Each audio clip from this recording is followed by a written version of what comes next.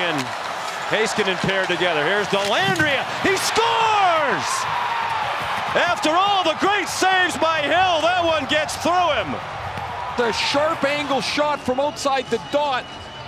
Maybe a deflection off of Alex Pietrangelo. We'll see. Yes, there is. There's a deflection there from Pietrangelo that changed the trajectory. Goes underneath the glove. Oh, look at that great view.